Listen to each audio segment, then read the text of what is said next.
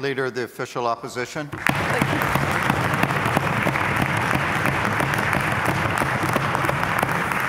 Well, uh, thank you very much, uh, Honourable Speaker, and thank you to members of the House. Uh, when I spoke uh, a few uh, weeks ago in the throne speech debate, uh, Honourable Speaker, I acknowledged members of the House who um, are not seeking re-election, and we heard since that time we've heard from the member for Prince George North, and that he is not seeking re-election. I, want, I know he spoke today uh, on the speech, and I uh, just want to express uh, uh, my appreciation to him uh, for all the work that he has done, um, and to all members of the House, because the work we do together here, and often the work is together here, more often, I think, than people realize.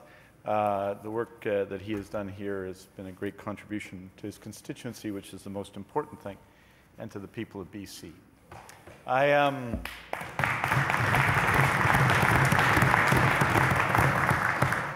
I have, and my colleagues uh, on the opposition side are going to find this both enjoyable and interesting, because I have, uh, honourable Speaker, uh, 10 minutes. 10 minutes to speak uh, to this budget uh, by agreement. Uh, uh, with the government. Uh, we're going to be voting on the budget shortly, is something I'm sure all members of the House are looking forward to.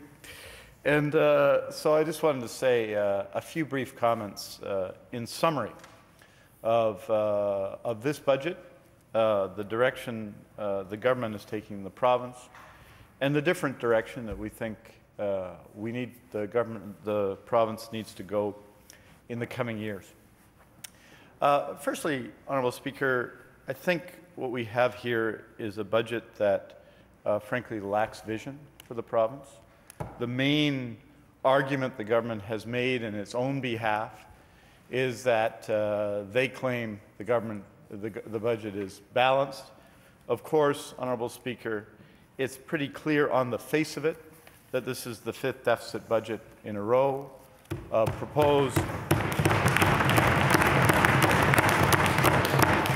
a $197 million claim surplus, but also $150 million moved from one fiscal year to another, $800 million in asset sales. Recall, Honourable Speaker, the views of Don Drummond in his report for the Ontario government when he said, with respect to asset sales, do not count chickens before they're hatched. If assets are to be sold, never incorporate any revenue from such planned sales into a budget before the fact. I think the point here is, Honourable Speaker, that the entire balanced budget depends on asset sales that the government is claiming in advance. And one of those asset sales, as members of the House will know, is the Little Mountain Project. It's very significant. Without the Little Mountain Project, the budget would be in deficit on its own. The government claimed that money last year in its budget when it came in with its deficit target. It's claiming it again this year. They weren't able to realize that last year, and who knows what they'll be able to do this year. $800 million in asset sales. Honourable Speaker, and the budget uh, is totally dependent. This proposal of a balanced budget is totally and solely really dependent on those asset sales. What else is it dependent on, Honourable Speaker? The member for uh, Juan de Fuca recently reviewed uh, the government's uh, presentation of its energy plans. We don't get that information through the BCUC because the government has genu genuinely, generally avoided that sort of uh, scrutiny, Honourable Speaker, but we know over the next four years the government is facing, uh, BC Hydro is facing $1.2 billion in losses on energy projects that are surplus to our needs and which we will pay expensively for. The government in this budget, as deferral accounts climb dramatically, is again taking very significant money from BC Hydro one more time, without which, Honourable Speaker, the budget would not be balanced on its own. And then, of course, Honourable Speaker, on top of that, on top of that, if you can believe it, Honourable Speaker, the government is making claims with respect to uh, savings, budget savings, which they have not detailed and which are plainly not realistic. $233 million against the budget table last year by the former finance minister with respect to health care, with no explanation as to how we might arrive there. And just to put it in context, put it in detail, because as everyone knows, when one is claiming cuts, they involve significant impacts on people. Just look, Honorable Speaker, just look at the material assumptions, for example, for an organization such as Community Living BC, Honorable Speaker. Those in residential care uh, over the plan of the budget will lose each 10% of their funding on average.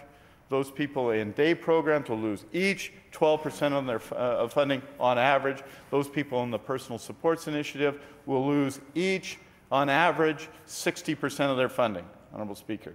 These are not programs where you can make uh, haste with economies of scale. We are talking about funding for individuals in need, often, of comprehensive care. And no suggestion, none provided on how they could possibly meet these targets. So, what we have here, Honorable Speaker, what we have here, and I know that this is largely a communications exercise. I know that because, Honorable Speaker, on Sunday night, I was watching the hockey game. And in the third period, the Canucks lost the lead and actually lost the game. And it was unfortunate. There were one or two bad calls. But the worst calls in the third period were the decision of the government at a time when they are presenting a budget that cuts supports for people with developmental disabilities, running government ads claiming a balanced budget for a budget that is not balanced. Honorable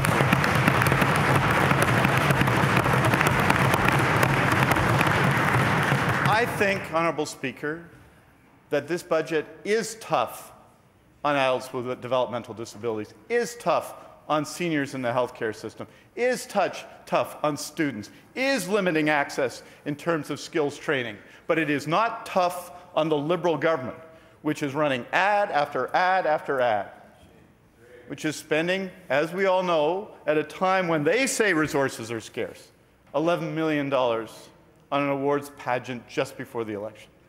But this is a government that, at this time in its mandate, a government that's had, as all governments do, successes and failures, Honorable Speaker. This time in its mandate deserves some time in opposition. Right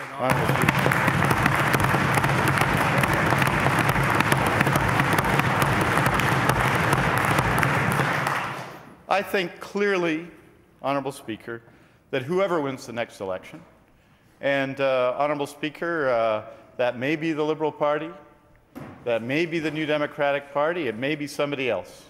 Honorable Speaker. But whoever wins the next election is going to face a difficult, lousy fiscal situation that they're going to deal with.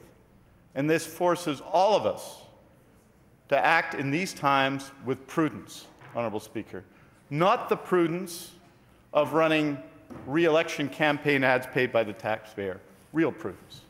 We've got to lay out where we see the priorities for British Columbia to be.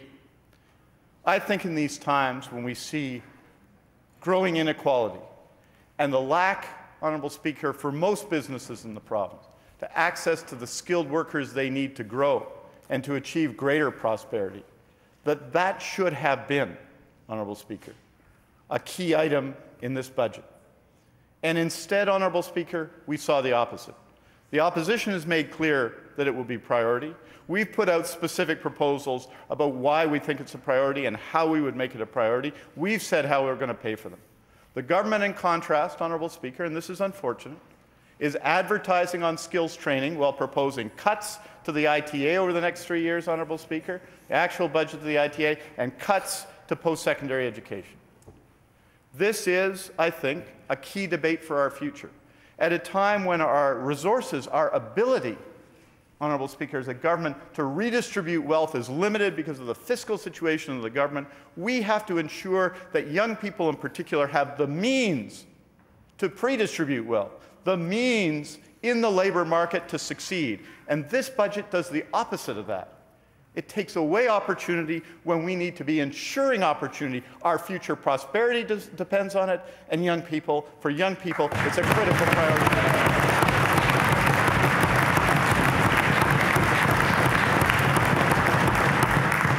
I heard uh, the thoughtful comments of the Minister uh, for Jobs earlier about the importance for us in natural gas to upgrade our resources. And I agree with those comments. It is important that we do that. And LNG is an important responsibility, uh, opportunity for British Columbia. That opportunity, of course, depends because of, uh, the, of laws we put in place in this House, depends on our willingness and ability at the same time to address our responsibilities around climate change. And we need to do that. But I would say this.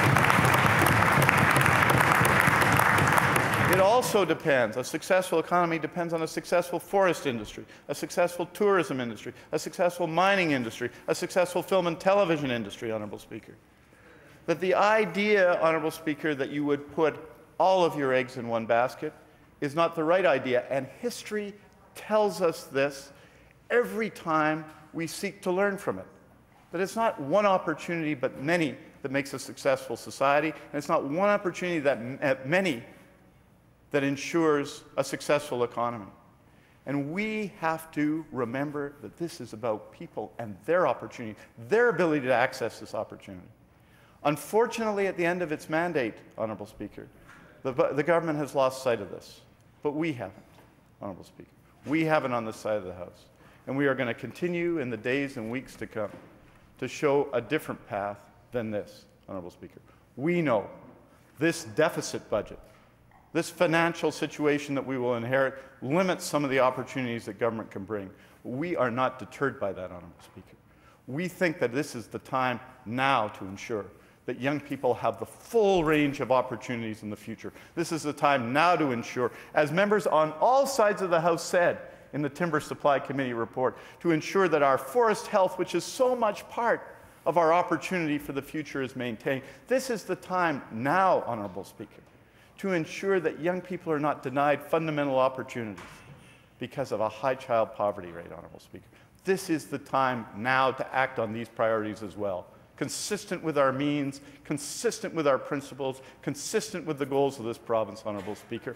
Honourable Speaker, we will be voting against this budget because it does not address the future of the province in a credible way, Honourable Speaker, but I'm sure, Honourable Speaker, I'm sure we will have more debate on that in the days and weeks to come. Thank you very much.